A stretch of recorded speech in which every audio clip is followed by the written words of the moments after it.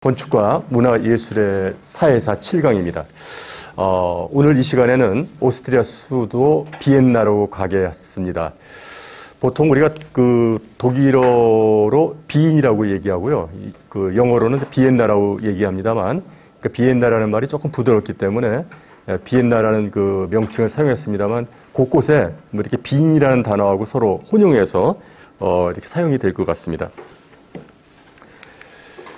자, 그 도시의 분위기라는 게 있습니다. 그 아일랜드의 더블린이라든지 뭐 이런 도시에서 제임스 조이스가 그 소설을 쓰면서 독특한 그 문학이 나오는 것처럼 이 분위기란 어텀, 어토머스피어라는 이 단어, 우리말로 이렇게 그, 뭐 이렇게 바꾸면 무드라는 단어, 분위기라는 단어로 이렇게 해석을 할 수 있습니다만 이 도시의 분위기라는 것은 각 도시마다 역사와 문화가 다르기 때문에 독특한 특질을 지니고 있습니다만 어, 오늘 다루는 비엔나의 세기말은 매우 독특한 그 시기에 어, 아테네에서 그 천, 그러니까 기원전 450년, 430년 사이에 위대한 철학가와 건축가와 조각가가 나왔듯이 이 시기에 즉 세기 말에 비엔나에서도 어, 위대한 그 천재 그 예술가 사상가들이 등장합니다. 그런 내용들을 오늘 어, 비엔나의 분위기라는 그 타이틀로 같이 살펴보기로 하겠습니다. 자, 이 분위기라는 단어를 조금 앞부분에서 이렇게 조금 그, 어, 약간 해석하고 넘어가기로 하겠는데요. 이제 본다는 것의 의미라는 그 존 버거라는 사람이 쓴 책이 있습니다. 동문선에서 나왔는데요. 뭐 이제 존 버거가 주로 이제 이런 그 어, 시각 미술사에 관련된 책을 어, 저술을 많이 했습니다만 이 본다는 것의 의미라는 존 버거의 그 책의 그 목차를 보게 되면 아무래도 존 버거가 어, 저널지라든지 이런 데 기고했던 내용들을 쭉 한 그 26편을 이렇게 모아놓은 것 같습니다만 그 중에서 어, 제목 중에 하나가 꾸르베와 쥐라 지방이라는 어, 글이 있습니다. 이 글의 내용을 앞부분에서 어, 조금 검토해보고 오늘 강의를 시작을 할까 합니다. 이 그 꾸르브에와 쥐라 지방이라는 그 책 앞 서두 부분에 이런 내용이 나옵니다. 예술가에 있어서 어린 시절과 청년기를 보낸 지역은 그의 통찰력 형성에 중요한 역할을 하게 되는 경우가 많다.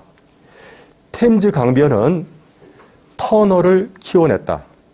모네의 경우는 루아브르 주변의 절벽이 그의 재능을 발달시켰고 쥐라 산맥 서쪽 사면 리의 계곡에서 리강이 흐르는 계곡에서 성장한 꾸르베 역시 지형적 조건에 영향을 받았다고 생각한다. 그러니까 한 예술가, 사상가가 그가 자란 그러한 도시나 마을이 지대한 영향을 미쳤다는 그 얘기인데요. 여기서 잠깐 그 앞부분에서 요 쥐라의 사면에 대해서 조금 그 언급을 하고 가보기로 하겠습니다. 자, 쥐라 산맥하면 우리가 쥐라 하면 쥐락이라는 그 용어가 떠오르게 되죠. 그 중생대 쥐락이라고 얘기하는데 바로 이 쥐라산맥에서 화석에서 중생대 화석이 나오면서 그 시기를 그 쥐락이라고 얘기합니다. 그러니까 쥐라산맥이 어디냐? 자 여기 지금 지도가 있습니다. 어, 스위스 지역을 여행을 하신 분들은 뭐 익숙하겠습니다만 그 가장 큰 호수 레마노가 있고요. 제네바를 끼고 레마나호가 있고 여기 이제 레샤텔 호가 있습니다. 이쪽이 알프스고요. 이쪽이 길게 뻗은 이 산맥이 쥐라 산맥입니다. 그러니까 이 쥐라 산맥의 거대한 해발 1000m의 산맥이 프랑스와 스위스를 가로막고 있다. 이렇게 볼 수 있는 거고요.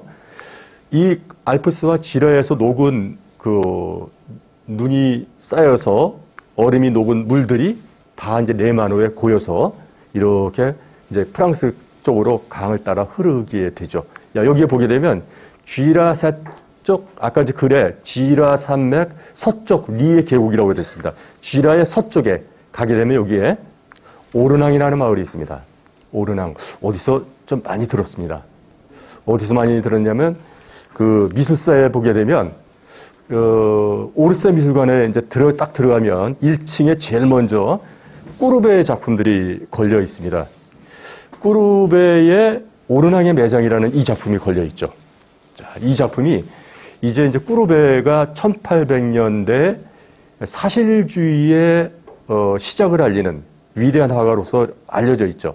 그 전까지 1800년대 이전까지 주로 그 회화는 신화, 종교화, 역사화가 주류를 이루어왔으나 더 이상 신을 길을 그릴 필요도 없고 더 이상 귀족이라든지 왕족을 그릴 그 이유가 없어졌죠. 프랑스 대혁명 이후에 이제 그 어, 지배계층이 무너지면서 화가들은 자연을 그릴 수밖에 없는.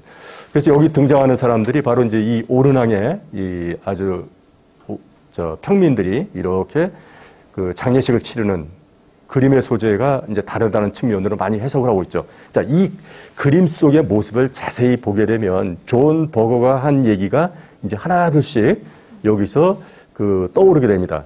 자, 이 그 지역을 다시 한번 봅니다만 주변에 로잔이라든지 혹은 뭐 저쪽에 이제 대표적으로 프랑스 쪽에는 부장송이라는 큰 그 도시가 있고요. 그 다음에 부르고뉴 공국의 수도였던 그리고 어 지난번에 우리가 끌루니 수도원 시토의 수도원을 할 때 부르고뉴 지방의 석공들이 많은 역할을 했다고 말씀드렸습니다만 그 수, 바로 부르고뉴 지방의 이 수도가 옛날에 디종이었습니다. 이쪽에서 조금 그 동쪽으로 가면 오르낭이라는 이 마을이 있습니다. 인구가 한 3천 명밖에 안 사는 동네입니다. 자, 이제 그쪽 지역에 이제 그 이쪽을 가다 보면 이게 저 렌트카로에서 가다 보면 중생대층의 그런 그 아주 강원도 쪽에서 볼 수 있는 기암절벽들이 쭉 이렇게 계곡을 따라 형성이 되고 있고요. 여기에 강이 흐릅니다. 이 강이 류이강입니다. 그 이제 쥐라에서 이렇게 흘러 내려와서 이제 흘러나가는 이 리광의 양쪽에 사람들이 옹기종기 모여서 이제 그 수백 년 동안 삶을 이뤄왔습니다. 꾸르베가 바로 이곳에서 태어난 거죠. 자, 여기에 꾸르베가 이제 젊었을 때 그린 그림입니다. 자기 마을을 그렸어요. 이제 이 그림을 이제 보게 되면은 그림의 위에 산 정상에 거대한 절벽들이 쭉 있습니다. 그리고 여기 교회가 있고요. 여기 리강이 쭉 흐르고 있습니다. 그 이곳을 가게 되면 이 모습을 지금도 한 200년 지났습니다만 이제 그대로 어, 볼 수가 있습니다. 여기 그림 조금 이제 화면이 너무 밝은데요. 여기 보게 되면 자세히 보시게 되면 여기에 십자가가 있습니다. 십자가가 있고 여기 사람들이 이렇게 모여 있는데요. 아, 이렇게 모여 있죠. 십자가가 있다는 얘기는 여기가 그 이 지역의 마을의 공동묘지라는 것을 알 수가 있습니다. 자, 요, 그, 지금 제가 이제 한 4년 전, 그, 오미크론이 그, 코로나가 있기, 그, 직전인 2019년도에 다녀온 건데요. 여기에 교회가 요 그대로 이렇게 남아있는 모습을, 어, 볼 수가 있습니다. 자, 그리고 그 요, 묘가 바로 요, 여기입니다. 강 요쪽에. 여기 가면 이제 그, 저, 묘역이 있는데요. 자, 그 묘역에서 꾸르베가 그림을 그렸다는 것을 알 수 있는 게 뒤에 오르낭 지방의 거대한 절벽이 있죠. 요 그림도 있고요. 요게 그, 저, 이 지역에 그대로 나타나 있고 여기가 바로 이제 그 오르낭의 매장에 그림을 그렸던 장소입니다. 이 그 묘역에 보게 되면 자 여기에 사람들이 이제 모여서 기도를 하고 있습니다. 어, 이 사람들은 꾸르베를 좋아하는 사람들이 모인 협회라고 합니다. 같이 모여서 여기 그 암석처럼 불쑥 올라온 요 앞에서 이제 기도를 하고 찬송을 하는 것을 볼 수가 있습니다. 이 묘가 누구냐? 자, 근데 이 묘를 보기 전에 요 모여서 그 기도를 하고 있는 이 장면과 위에 있는 이 장면을 보게 되면 엇비슷합니다. 그림이 좀 잘렸습니다만 요 위에 바로 요 그 암석층들이 있습니다. 절벽들이 그대로 있고요. 자, 요 묘가 바로 꾸르베 묘입니다. 꾸르베가 이제 사망한 위에 이 묘역에 역시 묻히게 되죠. 자, 이 리강의 그 강변에 3층짜리 건물이 있습니다. 저 건물이 바로 꾸르베 미술관입니다. 자, 이 꾸르베 미술관의 이제 내부에 꾸르베가 이제 자기 그렸던 자화상이라든지 에, 젊었을 때 그렸던 그림들이 여기 그 쭉 진열이 되어 있는데요. 인구 증가를 보면 꾸르베가 태어났을 때부터 한 사망하는 1860년대까지 인구가 3,000명 벗어나지 않는 것을 볼 수 있습니다. 자, 이 지역에 갖고 있는 아, 지역에 가보게 되면 그냥 3천 명이 돌, 돌을 캐서 집을 짓고 이런 모습을 볼 수가 있어요. 자, 꾸르베의 가장 대표적인 그림이 바로 이제 꾸르베의 이 돌 깨는 사람들이죠. 이 그림의 주제가 귀족이 아니고 또 신화적 내용도 아니고 또 종교적 내용도 아닌 그냥 이 지역에 살아가는 사람이 그 돌을 깨는 아주 노동자의 모습들. 이제 그림의 소재가 바뀌어졌다는 것. 더 이상 왕족이라든지 또 교회라든지 수도원이라든지 이러한 예술 후원자, 패트론이 존재하지 않는다는 것을 볼 수가 있습니다. 이런 그 모습들을 그 존 버거의 글과 이렇게 매칭시켜 볼 수가 있습니다. 이 마을의 분위기라는 것이 한 예술가 사상가들의 어, 어떤 그 성장기 그 작품들을 나중에 지배할 수 있다라는 모습을 볼 수 있죠. 이런 예. 자 그러면 세기말 비엔나는 그 예술가들에게 사상가들에게 또는 건축가들에게 어떤 영향을 주었을까? 지금부터 이제 주제를 비인으로 이렇게 넘어가 봅니다. 자, 이 1896년도에 화가가 그린 비인의 카페 모습입니다. 어, 1900년대 비엔나에서는 카페가 600개나 있었다고 얘기합니다. 엄청난 숫자죠. 그리고 어, 그 커피는 아랍에서 유럽으로 어, 흘러 들어오게 되는데 비엔나가 중요한 역할을 어, 하게 됩니다만 여기 보게 되면 이 카페에 수많은 사람들이 신문을 읽고, 읽고 있습니다. 이 시기에 유일한 정보의 전달 수단은 신문과 잡지였습니다. 신문과 잡지를 볼 수 있는 곳이 어디냐? 바로 카페죠. 카페에 가면 대나무 같은데 신문을 매달아 놓고 모든 그날 나온 신문들과 잡지들이 널려 있어서 그걸 보러 카페에 오는 겁니다. 카페에 와서 서로 테이블에 앉아서 얘기를 나누죠. 이곳은 담론의 장소입니다. 이곳에서 철학이 탄생이 되고 예술 사조가 싹이 트죠. 비엔나의 커피하우스가 중요한 역할을 하게 되는데요. 이 내용은 다음 주에 이제 자세히 다루기로 하겠습니다. 이곳에서 지금 여기서 보는 클림트, 에곤 실레, 그 다음에 철학자인 그 비트겐슈타인, 그 다음에 심리학자인 프로이트, 음악가인 작곡가인 말러, 건축가 아돌프루스 이런 사람들이 활동을 하게 되죠. 그래서 세기말 그 비엔나를 문화의 예술의 실리콘밸리다 이렇게 얘기를 하곤 합니다. 그래서 비엔나를 다룬 책들이 그 시중에 이렇게 두꺼운 책으로 많이 나와 있습니다.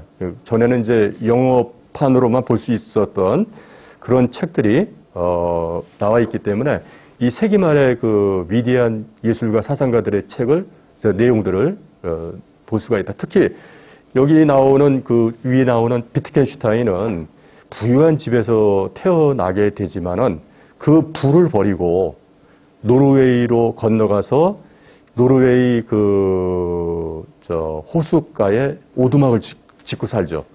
직접 건물도 설계했습니다. 그래서 다음 주에 요 비트겐슈타인의 그 건축, 그 다음에 그 삶, 여기에 대해서 이제 살펴볼 거고요. 그 다음에 이제 말러 같은 경우 이제 위대한 그 음악가로 활동을 하게 되는데요. 말러의 부인 그 알마와 얽힌 그 사연 가운데 이 구스타프 말러가 사망한 이후에 그 말러 부인은 위대한 건축가인 월터 그로피우스하고 잠시 결혼을 하게 되죠. 그러면서 건축적인 내용들이 전개가 되고 있고 여기 이제 아돌프 로스가 나오는데 어, 20세기를 대표하는 비엔나 건축가를 꼽을 때 저 아돌프 로스를 빼놓을 수가 없습니다. 그 다음 주에 역시 아돌프 로스가 누군지 여기에 대해서 어, 살펴보기로 하겠습니다. 이런 예술가들이 이제 비엔나 이외에도 수많은 예술가들이 있습니다만 사상가들이 있습니다만 그 살펴볼 거고요. 자 지금 비엔나의 그 city map인데요. 이 city map 중에서 지하철 노선도입니다. 굉장히 그 파리와 함께 그 교통수단이, 지하철 수단이 아, 잘돼 있는 아, 그런 도시죠.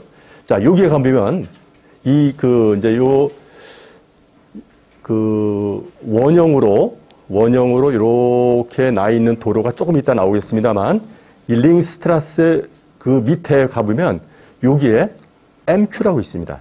MQ. 요 지역을 잠깐 먼저 어, 소개를 할 텐데요. 요 MQ라는 단어는 뮤지엄 쿼터라고 얘기합니다. 비엔나 뮤지엄 쿼터. 우리말로 얘기하면 박물관 지구입니다. 박물관 지구. 우리 이제 서울을 보게 되면 그 예술의 전당에 가보면 오페라 극장도 있고 서예관도 있고 미술관도 있고 음악당이 있죠.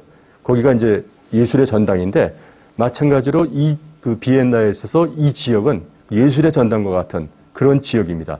자, MQ 지역을 이제 가보기로 하겠습니다. 자, 이 그 비엔나 그 전체 상공에서 찍은 사진을 보면 요 뮤지엄 카터, 요 MQ라는 지역, 요 지역입니다만 요 지역 그 동쪽에 이 궁전들이 있습니다. 합스부르크 궁전.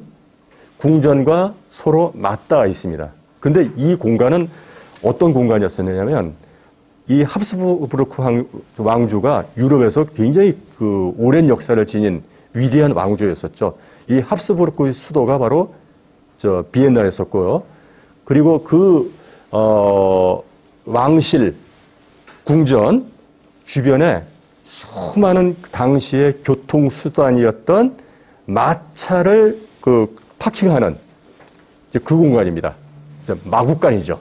근데 이제 마국간 하면 그냥 동네 조그만 마국간이 아니라 왕실 마국간입니다. 마차가 정차를 하고 이곳에서 전부 다 말을 관리하고 또 마차를 수리하는 그 종합 시설을 갖춘 곳입니다. 그런데 우리가 이제 알다시피 1918년 정도 되게 되면 오스트리아 왕조가 이제 붕괴가 됩니다. 왕조가 물러나고 이제, 이제 자동차 시대가 되면서 마국간은 필요가 없어지죠. 한동안 이 지역은 비어있는 공간으로 남습니다. 그러다가 오스트리아 정부가 이 지역을 아, 문화예술 어, 지구로 바꾸자 해서 이 지역 전체가 비엔나의 문화예술 시설로 바뀝니다.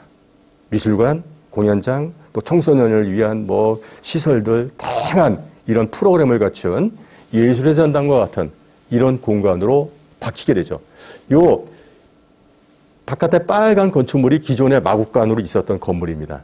요 안에 새롭게 시설물들이 들어가게 되는데요. 두 개의 건물이 있는데 요게 이제 현대미술관이고 요게 바로 이제 이 비엔나 가면 반드시 봐야 될 에곤 실레 클림트의 작품이 전시되어 있는 레오폴드 미술관입니다.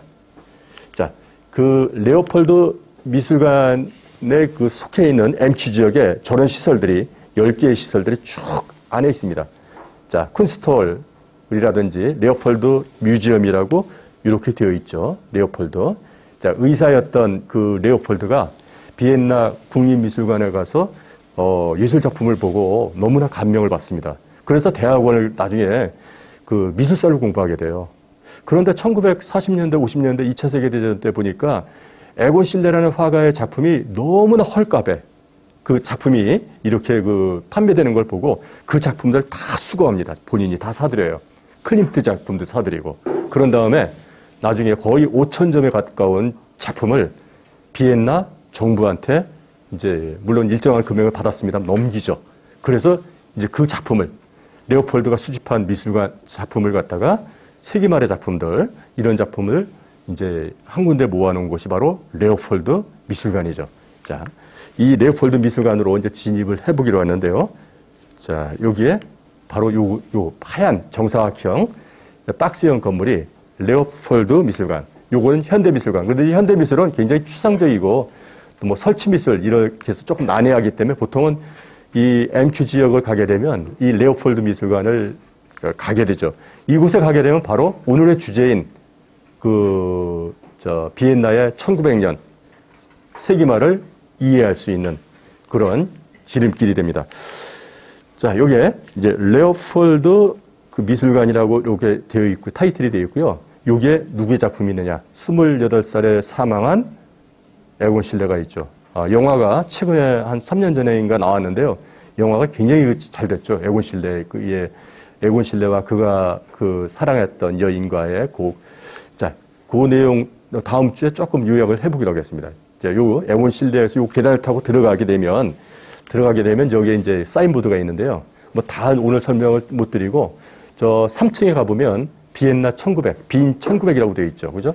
바로 이 세기 말서부터 20세기 어, 초, 우리가 이제 20세기 초를 파리에서는 저 아주 그 아름다운 도시 벨 에포크 시대라고 얘기하죠. 비엔나도 마찬가지입니다만 그 아름다운 시대에 바로 이곳에 그 상황들 문화예술이 레오폴드라는 사람에 의해서 이곳에 한 군데 다 집결이 돼 있다.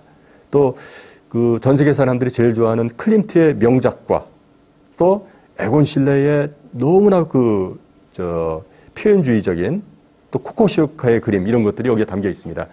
자, 이 미술관의 이제 아마 기획 전시가 이제 바뀌었을 것 같은데요. 2019년도에 제가 들렸을 때는 바로 그, 이, 그 1900년도 그 100년 전에 그 비엔나의 모습을 미술 작품을 통해서 어, 볼수 있도록 빈 1900년이라는 이 특집이 이제 그 3층에서 어, 전시가 열리고 있는데 아마 이 전시가 굉장히 quality가 높기 때문에 지금도 막 그대로 유지가 되지 않을까 싶습니다만 자, 이 속에 수많은 사람들이 등장합니다.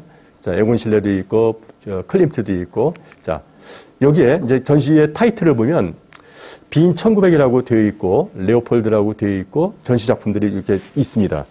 자, 여기 가 보면 중앙에 큰 전시장에 그 당시에 비엔나를 비, 빛냈던 위대한 예술가 사상가들의 사진들이 흑백으로 다 이렇게 그, 어, 포진되어 있어요. 근데 저 사람들 하나하나가 대단히 미술, 건축, 음악, 문학에서 그 시대를 갖다가 이끌어 나갔던 사람입니다. 저렇게 많은 사람들이 등장했던 비엔나의 배경은 뭐, 뭘까? 자, 여기에 보면 그 일부만 여기 이제 담아 놨습니다만 여기에 보게 되면 우리가 그동안 많이 들었던 그 유명한 그런 예술가들이 눈에 띄게 됩니다. 자, 여기에 보게 되면 어, 루디비 피트겐슈타인 다음 주에 잠깐 다루겠습니다만 그 다음에 이제 말로와 또 알마와 같이 활동했던 알렉산더 쳄니스키라는 또 음악가도 있고요. 알반베르크라는 음악가도 있고 또 아날도 아놀드 쉰베르크라는 그 최초의 추상음악 12음기법을 갖다가 완성한 사람도 있습니다. 자, 요, 이런 사람들 뭐 다음 주에 좀 다루겠습니다. 그리고 그 구스타프 말로와 그의 부인 알마, 알마 베르텔. 근데 알마 그 베르텔의 본명이 대단히 길죠. 알마 말로 그로피우스 베르텔입니다. 그 남편이 네 명이었었죠. 자, 자, 그 관계. 자, 그래서 이제 이런 사람들을 이제 보게 될 거고요. 그리고 이제 3층 전시장에 이렇게 타이틀을 보게 되면 에곤 실레가 있고요. 그 다음에 옆에 코코슈카가 있습니다. 또 끝에 호프만이라고 있습니다. 자, 근데 코코슈카라는 화가라든지 에곤 실레는 아마 미술사에서 이제 자주 언급이 되어 있는데요. 자, 저 호프만이 누굴까? 작곡가에도 호프만이 어, 있습니다만 저 호프만은 건축가입니다. 저 건축가의 이름이 저렇게 그 비엔나 1900년을 갖다가 좌우하는 중요한 위치를 차지하는 것은 오늘 이제 후반부에 이 사람이 어떤 사람인가를 어, 여러분들이 듣게 되면 아마 대충 이해가 될 거라고 생각이 됩니다. 자, 이 전시장에 가보면 저 노란 박스로 선을 쳐놓은 이 사람이 그 방금 전에 봤던 요제프 호프만이라는 건축가이자 가구 디자이너입니다. 자, 이 사람입니다. 요제프 호프만. 자, 이 요제프 호프만이 그 20세기를 전후한 시기에 비엔나에 활동하면서 비엔나의 건축과 사상과 이런 예술 활동에 지대한 영향을 어, 미치게 되는데요. 우리가 이제 20세기를 전후한 시기라든지 그 이전을 보게 되면 세계적으로 유명한 가구들이 있습니다. 이제 뭐 이렇게 유명한 배우들 중에서도 어, 그 오래된 앤틱 가구를 수집하는 예술가들이 저 그 사람들이 있는데요. 자 어, 이번 주하고 다음 주에는 그 가구에 관련된 명가구에 대한 그 내용이 건축과 연계시켜서 나오게 됩니다. 자, 요, 요제프 호프만 오늘 다룰 거고요. 그 다음에 콜르만 모조라는 사람이 있습니다. 이 사람은 화가이자 또 역시 가구 디자이너이자 그래픽 디자이너입니다. 이 사람의 작품들이 쭉 전시가 되어 있죠. 요제프 호프만은 누구이고 콜르만 모조는 누굴까? 자, 콜르만 모조가 이제 그 나왔고 그다음에 이 요제프 호프만의 그 대학교의 스승입니다. 비엔나 그 미술 공예 미술학교의 교수였던 이, 이 사람 오토 바그너 이제 오토 바그너의 건축 어, 이 사람으로부터 많은 제자들이 나오게 되는데요. 이 사람도 다음 주에 조금 더 구체적으로 살펴볼 것 같습니다. 그 다음에 아돌프 로스 장식은 죄악이라고 통박했던 아주 선구자였었죠. 이 사람도 역시 건축가이고 비엔나 곳곳에 카페와 그 다음에 비엔나에서 가장 유명한 그 20세기 건축을 설계한 사람입니다. 자, 이 사람 아돌프 로스 방금 전에 말씀드렸던 그 요제프 허프만 이런 사람들 그 다음에 요제프 마리아 올브리 전부 다 여러분들이 아마 생소하게 느껴지는 이제 그 건축가 뭐 이렇게 그 화가 이런 사람들인데요. 이런 사람들이 바로 세기말을 그 파리를 갖다가 새롭게 변모시키게 됩니다. 자, 오늘 그 방금 전에 열거했던 사람들 중에 요제프 허프만, 콜로만 모저, 지금 여러분들이 보는 요제프 마리아 올브리 요 세 사람을 조금 더 주목해서 그 살펴보기로 하겠습니다. 자, 비엔나의 그 세기말은 클림트를 빼놓고는 설명을 할 수가 없습니다. 1897년도에 클림트가 국체제의 그, 저, 구예술가 협회를 그 뛰쳐나와서 젊은 예술가들과 함께 새로운 그룹을 이끌게 되죠. 그게 바로 비엔나 세제시언이라는 그룹입니다. 이제 요, 그, 세제시언이라는 말이 영어로 세제시언이고 독일어권에서는 이제 그 독일, 그 오스트리아 말로는 제체시온입니다. 제체시온. 그런데 우리나라의 대부분의 건축과 디자인 책에는 그냥 세제시언이라고 영어 발음으로 되어 있습니다만 어떤 책에는 보면 독일 말로 제체시온이라고 되어 있습니다. 우리말로 번역을 하면 분리파 운동입니다. 과거로부터 분리하자. 새로운 시대에 새로운 예술로 나가자라는 그러한 그 캐치프레이즈를 들고 나온 이 비엔나 분리파의 리더는 누구냐? 지금 사진에 나오는 두 번째 나오는 클림트라는 사람입니다. 그 클림트가 단순한 그림을 잘 그렸던 화가가 아니라 그 시대를 이끌었던 리더였다는 얘기죠. 자, 그 비엔나를 보게 됩니다. 그 1700년대 그 합스부르크 제국은 유럽의 3분의 1을 차지할 정도로 엄청난 영토를 지니고 있었죠. 그 합스부르크의 수도가 비엔나였었고요. 지금의 헝가리라든지 이쪽 체코라든지 이쪽 지역이 전부 다 오스트리아 제국이었습니다. 자, 그러나 이제 하나 둘 떨어져 나가서 1800년대가 되면은 오스트리아 헝가리 제국으로 남게 되는데요. 오늘날 지도를 보게 되면 오스트리아를 둘러싼 그 국가를 보게 되면 일곱 나라가 있습니다. 체코, 독일, 이탈리아, 슬로베니아, 그 다음에 헝가리, 또 슬로바키아 이런 나라들로 전부 다 둘러싸여져 있죠. 이 영토가 한두 나라하고 겹쳐져 있는 게 아니라 일곱, 여덟 나라하고 이렇게 어, 겹쳐져 있고 그 저 전체 영 국토에 그 이렇게 그 비교해 봤을 때 수도는 굉장히 한쪽에 쏠려 있습니다. 지금 이제 여기 비엔나가 비, 아, 비엔나가 좀그 위에 있죠, 그죠?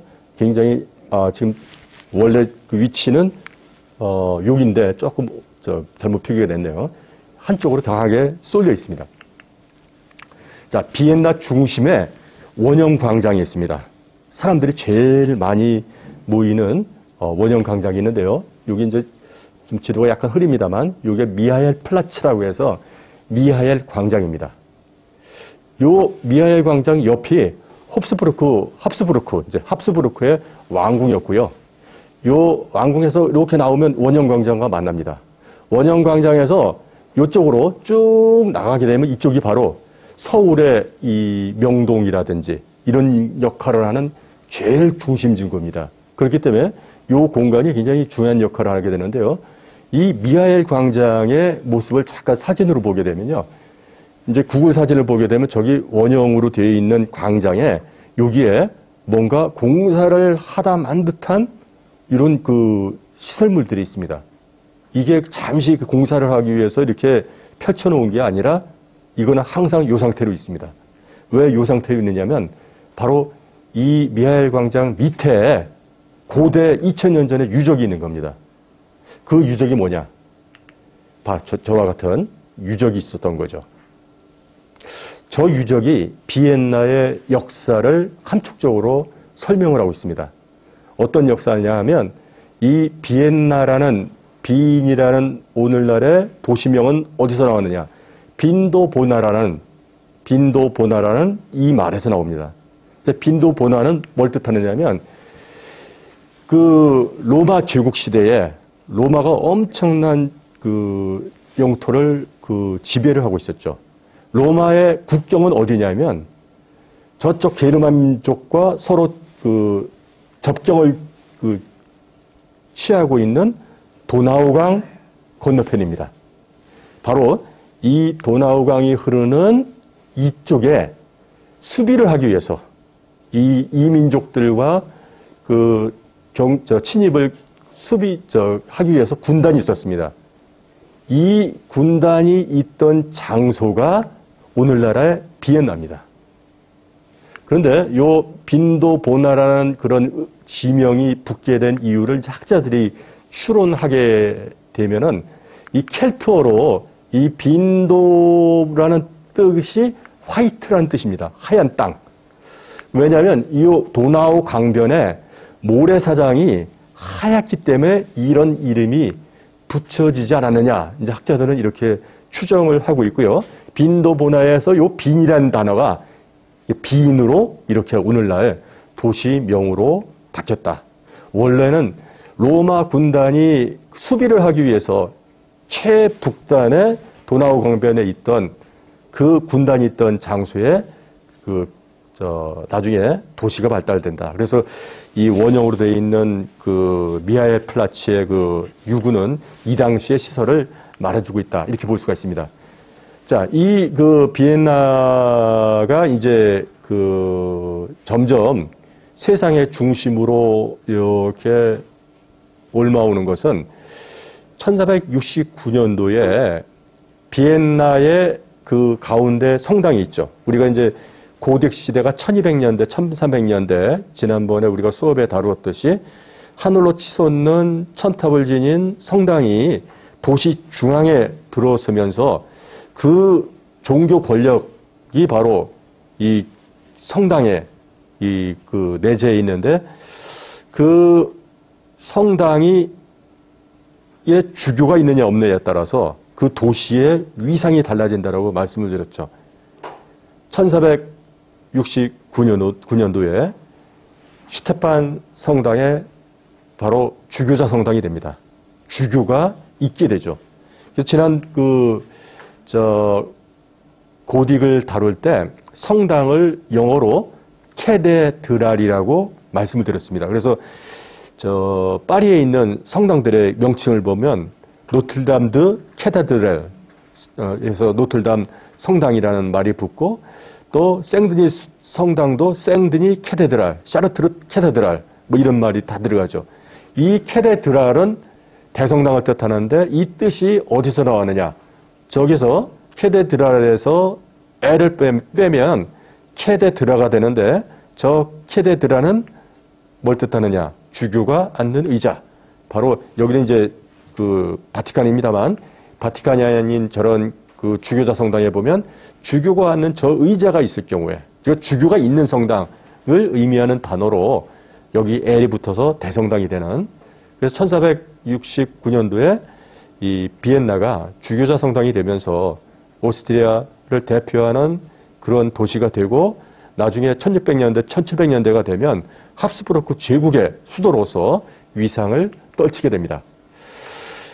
자, 이 다시 이제 이그 그 비엔나 역사박물관에 있는 그 옛날에 과거에 그 비엔나 도시의 이 모습을 모형으로 보고 있습니다. 정 가운데 성당이 있죠.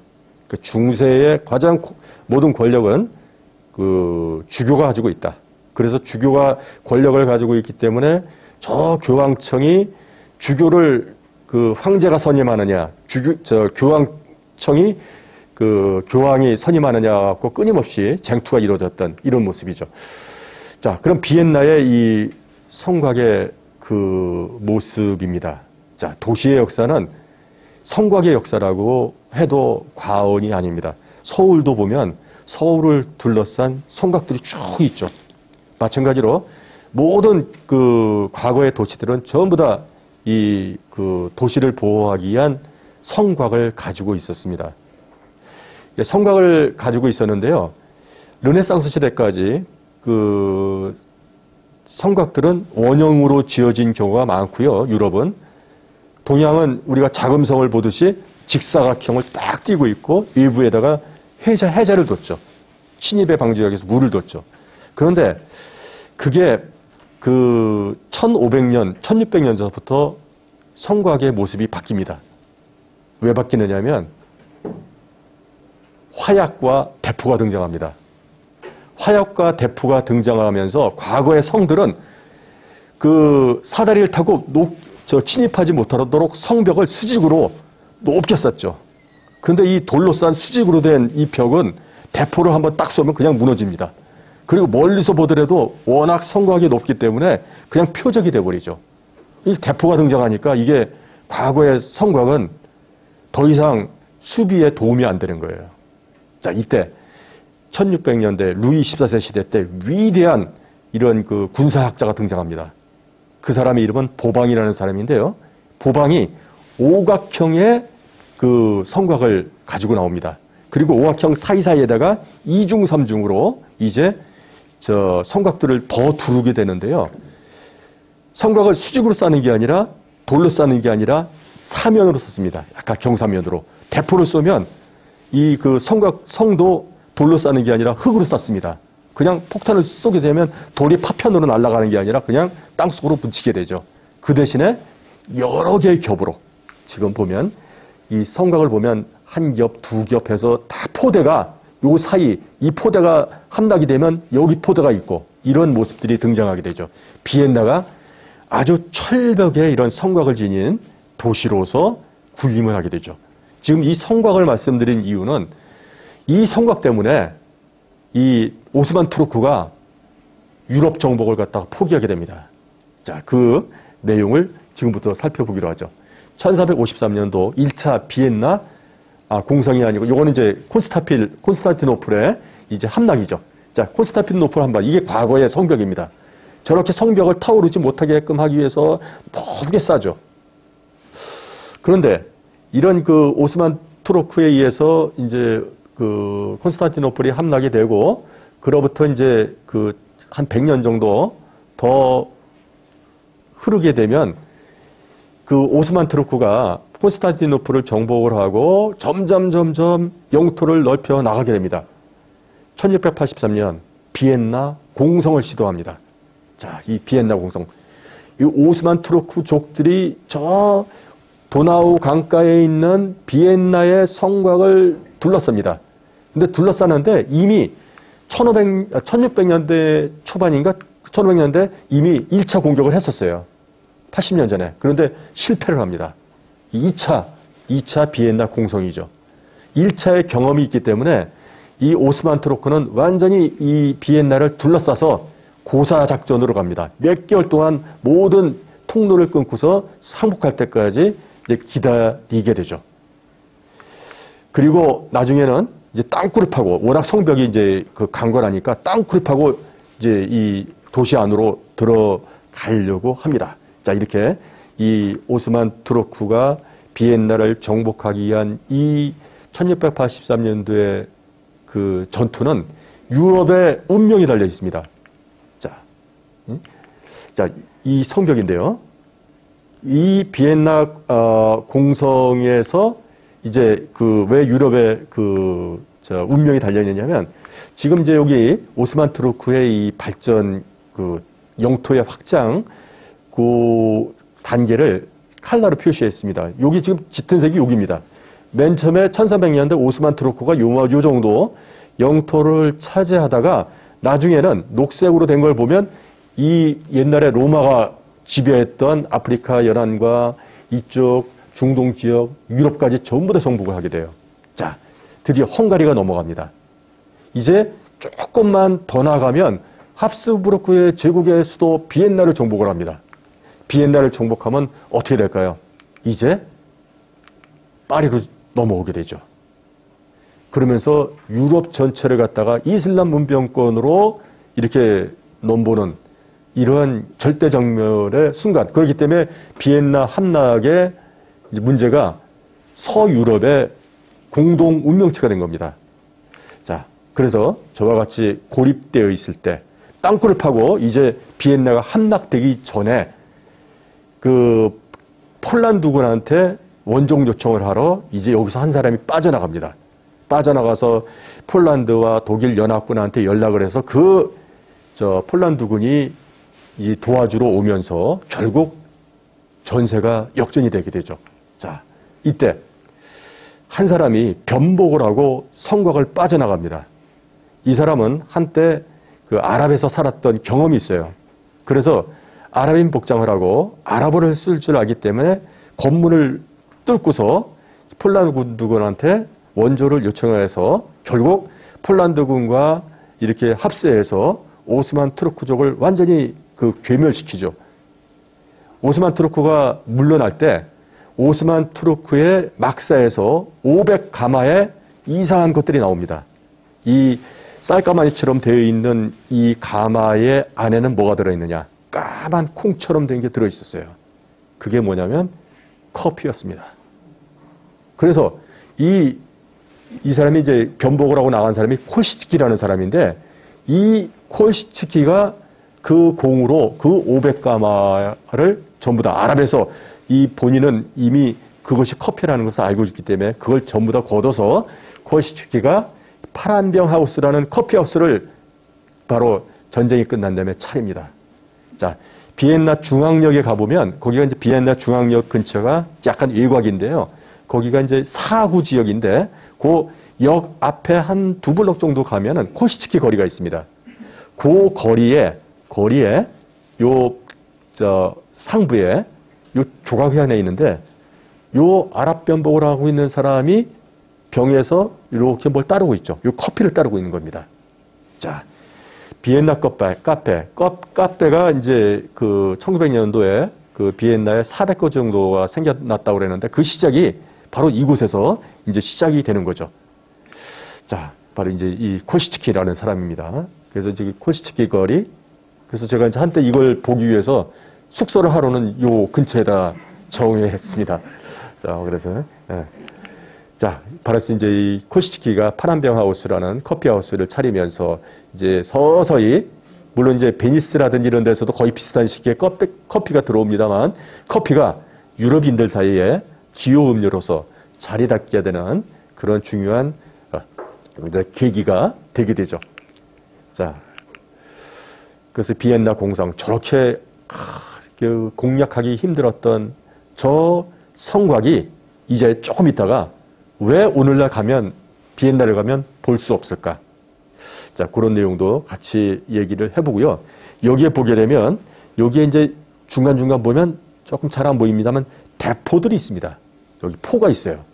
이미 이제 화약이 화약을 사용을 해서 포를 만들어서 이제 대포가 그 전쟁에 사용됐다는 것을 우리가 알 수가 있습니다. 자, 또 한 가지 이제 그 문화유산이 있습니다. 크로와상인데요. 크로와상은 그 프랑스 말로 초승달이라는 단어의 뜻을 가지고 있는데 이 크로와상은 오, 저기 파리에서 만든 빵이 아니라 그 원산지는 헝가리하고 오스트리아입니다. 헝가리하고 오스트리아에서 그 나중에 그 마리 앙뚜아네트가 이제 시집 올 때 이 빵의 기술을 프랑스에 전, 전달해 갖고 이제 방식을 좀 개선해서 오늘날의 이 파리가 크로아상의 이제 원산지처럼 얘기가 되고 있는데요.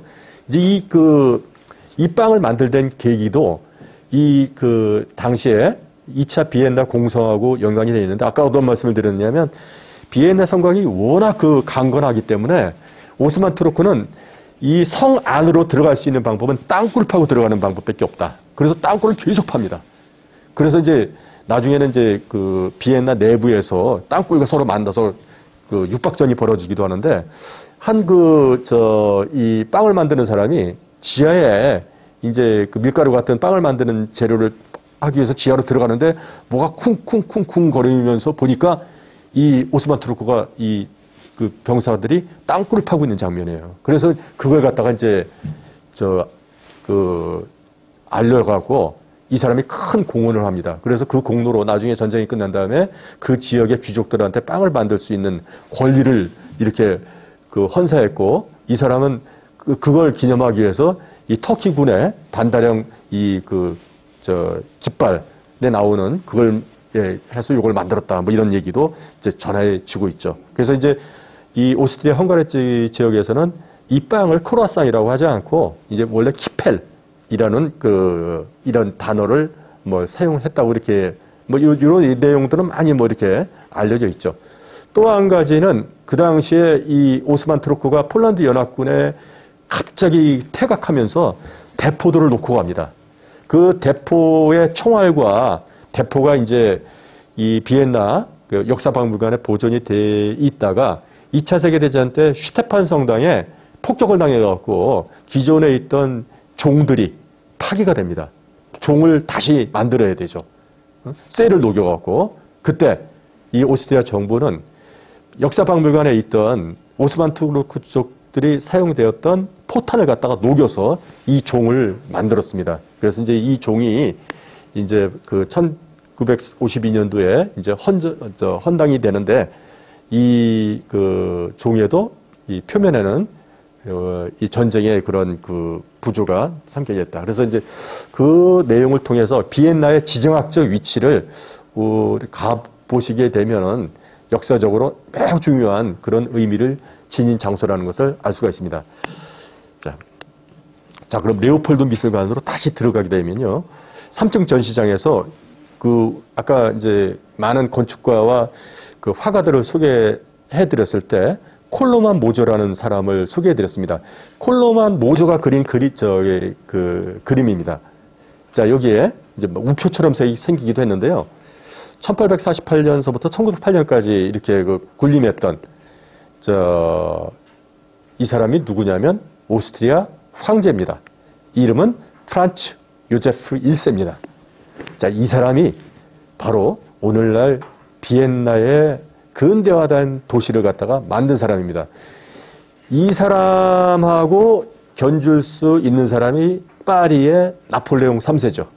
나폴레옹 3세가 오스만 시장한테 파리를 재개하라고 명령을 내려서 무려 2, 30년 동안 파리는 완전한 대로를 갖춘 그런 도시로 탄생이 되는데 거의 비슷한 시기에 오스트리아에서는 프란츠 요제프 1세라는 황제가 등극을 하면서 이제 이제 그 비엔나를 새로운 모습으로 바꾸게 되죠. 1848년입니다. 프란츠 요제프 1세가 이제 왕위에 오른 해입니다. 왕위에 오른 해에 리하르트 슈트라우스가 라데치크 행진곡을 갖다가 작곡을 하죠. 이탈리아 북부 지역을 갖다가 이 그 정복했던 라데치키 장군을 갖다가 추념하기 위해서 행진곡을 만드는데 그 라데치키 행진곡이 만들어진 해에 요제프 1세가 이제 저 왕위에 오르게 되죠. 그래서 오늘날 비엔나의 그 신년 음악회에서 제일 많이 울려 퍼지는 그리고 박수를 치면서 이렇게 어, 하는 그 말이 라드치크 행진곡인데요. 자, 이 프란츠 요제프 1세가 이제 그 비엔나 를 바꿔야 되겠다는 이런 생각을 하게 됩니다. 1840년대, 50년대 유럽은 빠르게 이제 재편되고 있었죠. 1851년 영국에서는 런던에서는 제1의 만국박람회가 어, 개최가 되고 이제 산업화의 물결 또 도시화의 물결이 겨세게 예, 이루어질 때 요제프는 어떤 생각을 하느냐 비엔나를 둘러싼 저 견고한 성곽을 허물어야 되겠다는 생각을 하게 됩니다. 자, 저 도시는 중세 때는 가능했죠. 그런데 저 성곽은 성 안에 있는 귀족들과 성 밖에 있는 평면들을 완전히 분리시킵니다. 그래서 이 그 도로 저 도시를 확장하기 위해서는 저 성벽을 허물어야 되겠다. 그런데 지금 이 성을 보게 되면 이게 바로 이제 구도시의 모습이고 요 사이에 엄청난 면적의 완충지대가 있습니다. 여기에는 뭐 해자도 있고 여기 뻐석뻐석뻐석해서 성곽들이 계속 이렇게 포진하고 있죠. 이걸 허물어야 되겠다 해서 허 무는 작업. 허물고 이곳에다가 60m의 대로가 납니다. 대로가 나는데 성을 뺑 둘러싸고 있는 데다가 도로를 이렇게 원형으로 내니까 도로가 이렇게 약간 각이 있습니다만 약간 반지처럼 원형을 띠고 있죠. 그래서 이 도로를 링스트라세 반지 고리처럼 되어 있다고 해서 이제 Straße는 street고요. 링 스트라스라고 얘기합니다. 자, 성곽을 허물고 1857년 즉위하고 한 8년이 흐른 이때 요제프 1세가 이곳을 허물고 여기다가 대로를 내고 대로 주변에다가 수많은 공공건물 을 짓게 하고 나머지 땅은 공원을 만든다든지 민간한테 건물을 짓게 하죠. 이곳에 이곳에 링 스트리트를 그 둘러싼 요 주변에 수많은 그 규모가 있는 건물들이 들었습니다. 위에 빈 대학, 비엔나 대학이 있고요. 그 다음에 여기에 parliament 비엔나 의회와 비엔나 시청이 있고 여기 왕립 극장이 있고 또 오페라 하우스도 있고 이런 시설들이 쭉 들어섭니다. 자, 그래서 이게 바로 프란츠 요제프 1세에 의해서 추진이 된다. 이렇게 추진하는 데는 이유가 있습니다. 과거의 영광을 되찾자. 과거의 영광이라는 것은 1700년대만 하더라도 이 오스트리아 합스부르크 제국의 수도는 유럽의 3분의 1을 갖다가 통치를 하고 있었죠. 근데 1800년대가 되니까 하나 둘씩 떨어져 나가서 이제 오스트리아는 오스트리아 헝가리 제국으로만 남아 있습니다. 위상이 쪼그라질 대로 쪼그라졌어요. 자, 이 위상을 살릴 방법은 이 링스트라스를 건설을 하고 성곽을 허물고 새로운 이 주변에 이제 수많은 건물들이 들어섭니다. 자, 여기에 링스트라스 엄청난 크기죠.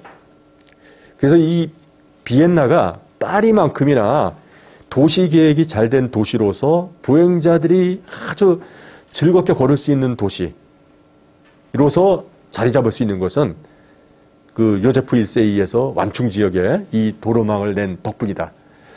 자, 그래서 이제 오늘날 가보게 되면 수많은 보행자들과 그 다음에 트램과 버스가 이렇게 그, 그 자유스럽게 교통에 체증 없이 예, 흐르는 이런 모습들을 볼 수가 있습니다. 자, 전차도 저렇게 트램이 지나가고요. 자, 여기에 들어선 건물입니다. 이제 문제는 여기서부터 시작이 됩니다. 1870년서부터 30년 동안 수많은 건물들이 들었, 들었습니다. 여기 자세히 보게 되면 조금 화면이 흐립니다만 건물들이 조금 이상합니다. 자, 1850년대가 되게 되면 유럽에서는 영국에서는 파리에서는 새롭게 등장하는 철과 유리로 현대적 건물들이 막 들어서게 되는데 지금 들어선 건물들의 모습을 자세히 보게 되면 자, 요 그 지도를 갖고 설명을 좀 드려봅니다. 자, 여기에 여기에 앞에 이렇게 광장을 지닌 건물이 있습니다. 이게 비엔나 시청입니다. 비엔나 시티홀이에요. 자, 시티홀이 모습이 어떤 모습이냐면 완전히 고딕입니다. 네오 고딕의 양식이에요. 고딕 양식으로 1860년대, 70년대 시청이 세워진 겁니다. 요 시청 앞에서 이제 여름철이면 그 필름 페스티벌이 매년 열리게 되는데 이건 다음 다음 주에 좀 설명을 드리고요. 자, 요 가운데 링스트라스의 가장 중심축을 이루는 그 슈테판 성당에서 쭉 내려오는 요 저 케르트너 거리 끝단에 뭐가 있느냐면 비엔나 유명한 오페라 하우스가 있죠. 자, 이 비엔나 오페라 하우스 위에 건물도 양식도 보면 르네상스 양식과 바로크 양식이 짬뽕된 저런 모습을 지니고 있습니다. 시대는 바야흐로 근대를 향해서 진군을 하는데 오히려 역행을 해서 옛날 고딕 스타일의 건물이라든지 혹은 르네상스와 바로크가 결합된 건물이라든지 그 다음에 요 옆에 왕립극장이 있습니다. 브루터 자, 저 건물도 보면 이상하죠. 그죠? 저런 건물들이 들어서는 거예요. 자, 여기 링스트라스의 이제 그 안내문에 보게 되면 총 링스트라스의 길이는 5.4km, 삥 둘러싼 5.3km의 그런 그 길이를 가지고 있는 어, 이 곳이고요. 1860년서부터 90년까지 30년 동안 세워집니다. 자, 여기에 들어선 건물들을 보게 되면 State Opera House가 있죠. State Opera House. 자, 요거는 르네스 방금 전에 이제 그 미션 임파서블 5로 보면 거기에 톰 크루즈 나오는 그 영화가 이곳을 무대로 이제 그 저 촬영이 이루어지는데요. 그 건물이 바로 이제 방금 전에 봤던 반원형 아치를 지닌 르네상스 양식, 네오 르네상스 양식이고 시청은 고딕 양식입니다. 그 다음에 이제 극장은 네오 바로크. 자, 이렇게 그 과거의 양식들이 반복이 되는 이런 양상을 보이게 되는데요. 자, 이런 그 현상들 지금 보면 이제 절충주의 양식이죠. 자, 요 절충주의 양식을 보면 좋은 것만 따서 그냥 한 건물에 다 모아놓은 겁니다. 지금은 이제 건물이 헐렸어요. 그 광화문 앞에 그 경복궁 앞에 조선 총독부 건물이 있었죠. 자, 그 건물의 디테일하고 조금 비슷할 겁니다. 서울역도 가보면 유럽에서 본 그 좋은 것들을 일제시대 때 일본 사람들이 그대로 이렇게 따놓은 겁니다. 이거를 우리는 절충주의 양식이라고 불러요. 이것저것 짬뽕 시켜놓은 이런 양식으로 건물이 지어집니다. 이 말씀을 왜 드리냐면 여기에 있는 의식 있는 젊은 예술가들이 한탄을 합니다. 시대가 어떤 시대인데 저렇게 옛날에 있었던 방식들로 건물을 지어지는 그 구태연한 그래서 이 사람들은 그런 현상을 뭐라고 부르느냐 썩은 고인물이라고 얘기합니다. 썩은 고인물처럼 퇴락해가는 자, 그 합스부르크 제국의 영광은 어디로 사라지고 이제 오스트리아 헝가리 제국으로 남아있는 이 나라에 저렇게 형편없는 건물이 들어서야 되겠느냐라고 한탄을 하면서 여기에 있는 그 앉아있는 요 사람, 그 당시에 나이가 한 40 정도 됐습니다. 이 사람의 이름은 구스타프 클림트입니다. 클림트를 중심으로 일련의 화가들, 건축가들이 뛰쳐나와서 새로운 그룹을 만드는데 그룹이 바로 세제션 그룹, 제체션 그룹이라는 얘기죠. 자, 이 제체션 그룹의 목적은 뭐냐? 이 나라의 퇴락한 예술을 구할 수 있는 방법이 뭐냐? 새로운 예술사조를 우리가 스스로 만들어내야 되겠다. 그 예술사조를 만들어내기 위해서는 외국의 선진 예술가들을 초청을 해서 우리가 배워야 된다. 그 배우기 위해서는 전시회를 열어서 그것을 표명을 하자. 이런 그 선언을 하게 됩니다. 그러기 위해서는 제일 먼저 필요한 게 뭐냐? 전시관이죠. 자기들이 비엔나 분리파라는 그룹이 전시를 할 수 있는 전시관이 제일 먼저 필요했습니다. 자, 제1회 전시회는 그 대충 하고 2회 전시 때부터 이제 새로운 건물에서 이제 그 전시를 하게 되는데요. 지금 비엔나 외곽, 바로 여기가 링스트라스입니다. 녹지가 되게 많죠. 이 링스트라스 남쪽에 여기에 여기에 지금 자세히 보이지는 않습니다만 이상한 건물이 있습니다. 자, 황금색 돔을 지닌 이 건물이 있습니다. 이 건물의 이름이 뭐냐? 비엔나 Secession 빌딩입니다. 자, 이 건물입니다. 그래서 이제 건축이나 예술을 좋아하는 사람들은 비엔나를 가면 저 건물을 꼭 갑니다. 이곳에서 클립트를 중심으로 한 예술가들이 비엔나 예술을 구하기 위해서 퍼포먼스를 펼쳤던 장소죠. 그런데 이 건물은 온갖 상징성으로 가득합니다. 어떤 상징성이냐? 이 건물을 지금 하나씩 뜯어보기로 합니다. 자, 여기에 지금도 가시게 되면 거기에 밑에서부터 SECSSION, 제체시온이라고 되어 있죠. 저 깃발은 1898년도부터 걸려있던 그대로입니다. 자, 그리고 여기에 원통형에 여기에 베토벤이라고 적혀 있어요. 도대체 베토벤은 또 뭘 뜻할까? 자, 자, 이 건물입니다. 1897년도에 비엔나 블리파가 결성이 돼서 그 1년 후에 이 건물이 완공이 되는데요. 이 완공된 건물은 이 멤버들이 서로 안을 하나씩 냅니다. 안을 하나씩 내는데 그 중에서 클림트도 안을 냈지만 채택이 안 됐어요. 안을 낸 사람 중에 요셉 마리아 올브리라는 건축가의 안이 채택이 됩니다. 그래서 이 건물을 이제 가시게 되면 이 건물의 화단부에 바로 이 건물을 설계한 건축가의 이름이 여기에 적혀 있습니다. 그 건축가의 이름이 뭐냐? 바로 여기에 요셉 올브리라고 되어 있죠. 이제 요셉 마리아 올브리인데 마리아는 기니까 요셉 올브리라는 건축가가 1897년 설계해서 98년도에 완공이 됐다. 이제 100년이 넘은 건물이죠. 자, 이 건물에 이제 바로 요셉 마리아 올브리가 이런 안을 냈습니다. 황금 돔을 얹고 있고 정중앙에 출입문을 어, 갖추고 있죠. 자, 이 건물입니다. 정면에서 보면 아주 아름다운 모습을 지니고 있는데요. 이 건물은 온갖 상징성과 그 세기 말의 분위기를 그대로 이 건물 전체가 담고 있다. 자, 그럼 이 건물에 황금색 돔 아래에 여기에 이 오스트리아 독일 말이 적혀 있습니다. 이 그 독일 말이 뭐냐면 Der Zeit 뭐 이렇게 해서 Kunst, Kunst는 예술이고요. 자, 이 뜻이 뭐냐? 이 뜻이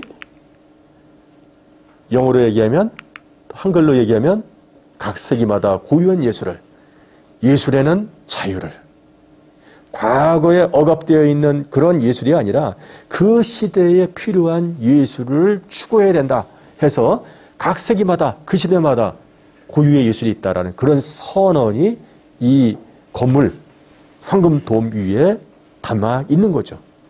자, 그 다음에 그 중요한 단어가 이제 하단부 벽체에 있습니다.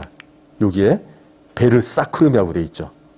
요 말은 요 라틴어인데요. 자, 이 베르사크름이 중요한 의미를 가지고 있습니다. 자, Ver Sacrum 황금색으로 Ver Sacrum이라고 되어 있죠. 영어로 얘기하면 Sacred Spring입니다. 신성한 봄이라는 뜻을 가지고 있어요. 그럼 이 뜻이 뭐냐? 자, 지금 그 베르사크름이라는 여기에 있는 요 단어는 비엔나 블리파 그룹이 만들어낸 잡지의 전부 다 타이틀이기도 합니다. 자, 이 시기에 1890년서부터 20세기 초반에 걸쳐서 온갖 예술사조들이 탄생됩니다. 이, 이 당시에 예술인들 몇 명이 모여서 카페에서 얘기를 나누다가 의기투합되면 그 다음날 그룹이 만들어집니다. 그러면 얼마 후에 잡지가 만들어져요. 잡지는 왜 만드느냐? 이 당시에 SNS 없던 시절, 시절이기 때문에 자신의 그룹의 노선을 알릴 수 있는 방법은 잡지밖에 없었습니다. 그래서 우리가 이제 이 1916년, 17년에 보면 벨, 저, 쭈리의 다다들이 모여갖고 뭐 다다라는 잡지를 만들고 또 그 네덜란드에서는 1917년도에 몬드리안과 반데스부가 모여서 De Stijl이라는 잡지를 만들고 또 꼬르뷔제하고 오장팡이라는 화가는 Esprit Nouveau라는 잡지를 만들고 이런 그런 시대입니다. 바로 비엔나 Secession이라는 이 그룹은 1898년서부터 1903년도까지 잡지를 만드는데 잡지의 타이틀이 Ver Sacrum이다. 이 Ver Sacrum의 뜻이 뭐냐? 아주 중요한 의미를 가지고 있습니다. 저 신성한 봄이라는 것은 일종의 로마에 있었던 전례, 그 로마에 있었던 그 하나의 그 의식과 관련되어 있는데 그 로마 공화 정부 시대 원로원들이 로마가 위기에 처해 있을 때 원로원 자녀들을 먼저 전쟁에 보냅니다. 요즘처럼 이렇게 아들을 갖다 면제시키고 그런 게 아니죠. 자기 아들을 먼저 그 전쟁터로 보내서 위기에 처한 로마를 구하자. 그래서 그 전쟁터에 보낸 꽃다운 젊은이들을 뭐라고 불렀느냐? 신성한 봄, 베르사크름이라고 불렀습니다. 그럼 이 베르사크름이라는 뜻에는 위기를 겪는 젊은이들이라는 그런 뜻을 함축하고 있죠. 그래서 이 비엔나 세제시안 건물에 그 타이틀을 붙인 것은 비엔나 썩어빠진 예술을 구하는 우리 새로운 정신으로 무장한 젊은 세대라는 그런 의미가 이 저 단어에 함축되어 있는 거죠. 그만큼 비엔나의 그 시대의 분위기는 다른 도시들보다 대단히 다른 의미를 가지고 있다. 자, 이 분리파라는 그 뜻은 과거로부터 분리를 하자. 그리고 어, 새로운 감각을 그 심어넣자. 새로운 감각을 불어넣기 위해서는 선진 애국 예술가들과 교류를 해야 된다. 이런 그 캐치프레이즈를 내걸게 됩니다. 그런데 이 분리파 운동이 비엔나에서 처음 일어난 게 아니에요. 제일 먼저 일어난 것은 1892년, 그러니까 비엔나보다도 5년 앞서 1892년도에 뮌헨 분리파가 제일 먼저 일어납니다. 뮌헨에서. 그 다음에 비엔나에서 일어나고 또 베를린에서 1898년도에 일어나고 또 미국으로 건너가서 사진작가인 그 스티글리츠라는 사진작가에 의해서 그 1905년도에 뉴욕 세제션이 일어납니다. 나중에 일지, 일본에서도 일어나요. 그러니까 이 세제션이라는 말은 과거로부터 분리하자라는 의미를 지녔기 때문에 그렇지만 가장 이 분리파 운동의 결실이 농밀하게 나타났던 이러한 그 도시가 오늘 살펴보는 비엔나라는 얘기죠.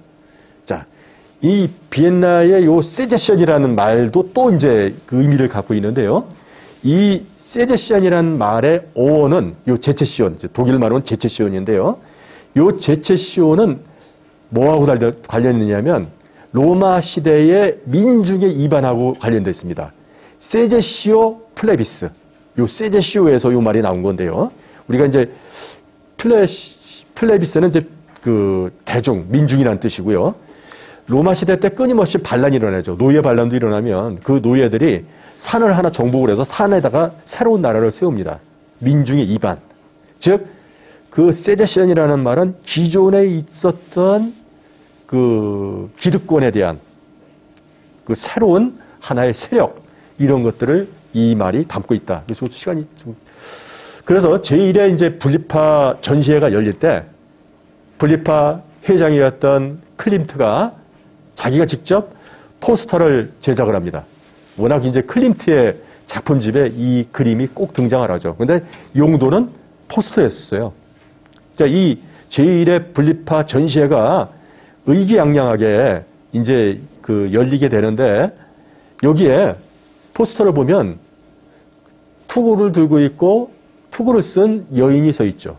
이 사람은 누군지 아실 거예요. 바로 전투 아테나죠. 그죠?